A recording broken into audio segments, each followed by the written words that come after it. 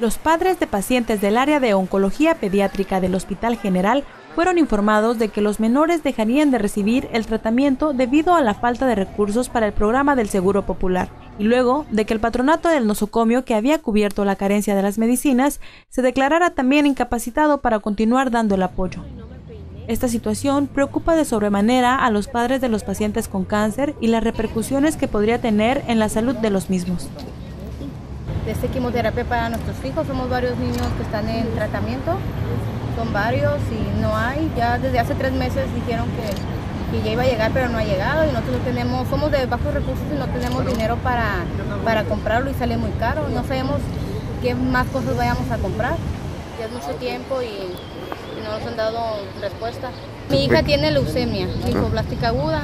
El tratamiento es de dos años, le falta otro año más, lleva un año de tratamiento le falta un año más, casi la mayoría son de leucemia. Pero este tipo de tratamiento no hay quimioterapia, no se da la quimioterapia, el niño puede recaer, el niño puede recaer y se puede hasta morir. O sea, deje usted que volvamos a empezar de nuevo, que recae, o sea, que si viva, que vuelva a, Los niños no pueden estar ni un día, dos días sin sin esa pastilla, sin esa quimioterapia. Mira, desafortunadamente el hospital nos informó que se les agotaron los recursos para poder solventar eh, la compra de las medicinas que bueno, se han requerido para la quimioterapia de los niños. Eh, el patronato había sido la institución que nos venía apoyando desde que pues, se terminaron los recursos del hospital, pero ellos también se han quedado desafortunadamente sin fondos y la necesidad de, imperante ahorita pues es eh, tener la oportunidad de comprar medicamentos como mercaptopurina, que son los básicos para el tratamiento de la quimioterapia, ya que interrumpirlo podría ser fatal para los niños. Bueno, por el momento, el día de hoy no te podría decir el contexto exacto, pero ya comenzaron a, a terminar los tratamientos en el sentido de decirles no hay medicamento para aplicar. Sin embargo, nos comentabas que les hacen la cita de todos a pasar que no tienen cómo Vienen ellos, de alguna manera ellos ya tienen sus citas programadas, entonces ellos tienen que venir a atenderlas porque pues el no venir para un niño interrumpir el tratamiento es muy peligroso. Entonces vienen a la cita y desafortunadamente se encuentran con la noticia de que no se les puede dar ya el medicamento porque no lo hay. ¿Cuánto tiempo tienen?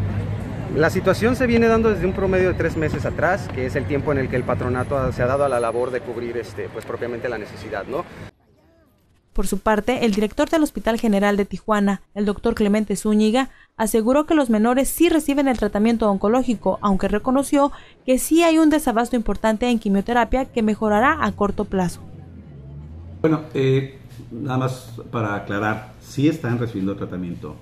Eh, ningún niño de los niños que se ven aquí en el hospital en el área de oncología pediátrica ha dejado de recibir tratamiento. Son 56 niños en tratamiento activo y 200 niños en vigilancia pero todos están recibiendo su tratamiento, ningún niño se les ha dejado de dar. Creo que eso es muy importante puntualizar. Perdón, ayer yo hablé con dos señoras, con una me dijo que ayer vinieron y no le dieron el tratamiento, y que vino hoy y que le dijeron lo mismo. de parte de que no le está suministrando su medicina. es, el medicamento es la mercaptopurina. Eh, ese medicamento eh, debe estar por llegar. No es que se les deje de dar, hay ciclos y tenemos nosotros cierto tiempo para que reciban el ciclo.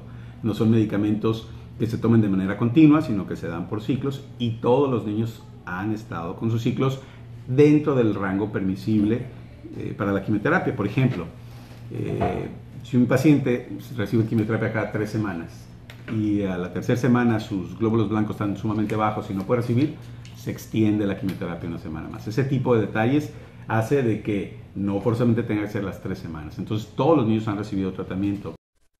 Con información de José Luis Camarillo, Alejandra Guerra para RCN UTV y Uniradio Informa.